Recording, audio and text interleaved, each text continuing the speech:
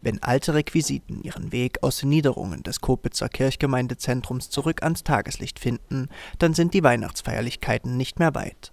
Bis zuletzt war jedoch unklar, wie diese in Pirners Gotteshäusern ausgestaltet werden können. Ich glaube, wir können uns jetzt relativ gut auf die jüngsten Verordnungen verlassen, die die Bedingungen festlegen und von daher steht fest, wir können Weihnachten in Kirchen feiern.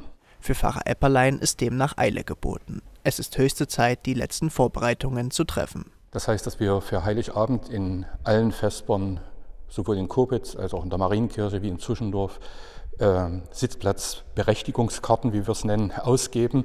Das heißt, man muss nichts kaufen, aber man braucht eine Karte, um einzutreten und natürlich gelten die 3G-Regeln, die auch am Eingang dann am Heiligen Abend kontrolliert werden. Die Karten für die evangelisch-lutherische Christfesper sind ab sofort im Kirchenamt erhältlich. In den Gebetshäusern gilt es jetzt, für die notwendigen Sicherheitsvorkehrungen Sorge zu tragen. Das heißt konkret Stuhl reinstellen und Abstände abmessen. Doch nicht nur die Räumlichkeiten müssen verändert werden, sondern auch die Ausgestaltung der Christfesper selbst. Was Krippenspiel betrifft, wir zeichnen auf, wir organisieren Beamer, die wir in genügender Anzahl haben, dass wir an verschiedenen Stellen diese Krippenspiele zeigen können. Also es gibt eine ganze Menge zu tun, was anders ist als die gewohnten Abläufe. Und ja, da hat man so das eine oder andere, was vielleicht auch droht hinterzufallen. Zum Glück sind wir ein gutes Team, wo die meisten dann noch sagen, hier, das ist noch zu bedenken und das ist noch zu bedenken, sodass wir, glaube ich, ganz gut gewappnet auf die Weihnachtstage zugehen. Für diejenigen, die den Weg in Penners Gotteshäuser nicht antreten können oder wollen, haben wir eine Alternative. An Heiligabend senden wir ab 16 Uhr eine aufgezeichnete Christfesper. Weitere Optionen bietet die katholische Kirche. Aber auch hier herrschte lange Unklarheit. Genauer gesagt bis vergangenen Sonntag. Seit Montag weiß Pfarrer Vinzenz Brendler nun, dass wir die Sicherheit haben, dass wir genau also mit den äh, Vorschriften, die also kennen, was die 3G-Regel betrifft, dass wir so auch jetzt für die Christnacht planen können.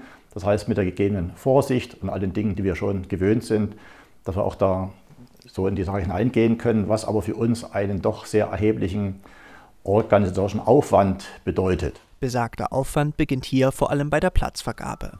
Interessierte können sich am Mittwoch, Donnerstag und Freitag telefonisch anmelden. Dies sei aber händelbar, so der Pfarrer, da ohnehin nicht mit einer dreistelligen Besucheranzahl zu rechnen ist. Selbst wer sich nach Heiligabend entscheidet, ich komme, wird, soweit ich das sehe, nicht nach Hause geschickt werden müssen. Er muss nur dann denken, dass er also auch den Nachweis mitbringt, dass er entweder genesen, geimpft oder getestet ist. Viel schwieriger als die Platzreservierung sei es, sich um die Bereitstellung der geforderten zusätzlichen Dienste zu kümmern. Es ist nicht einfach, jemanden zu finden, der sich zusätzlich dorthin stellt und dann nicht weiß, wer da alles so erscheint und was dann die sagen. Also man merkt von Zustimmung und Bekräftigung bis hin ablehnende Worte und noch dumme Bemerkungen. Und äh, ich verstehe auch, dass manche sagen, oh, das kann und will ich mir nicht antun. Und das macht es eben nicht so leicht in diesen Tagen. Wie bei den evangelischen Glaubensbrüdern und Schwestern wird auch bei den Katholiken mit einem angepassten Programm zu rechnen sein. Die Kinder haben nicht ein Spiel eingeübt, was jetzt nicht ging, sondern die Familien haben also auch mit Video hantiert und mit Internet und all den Dingen. Und da wird das also zu sehen sein auf der Leinwand. Bin selber gespannt, wie das ist und wie es wirkt. Veränderung ist gewiss nicht immer leicht, vielleicht und gerade in dieser Zeit aber auch einfach eine Chance.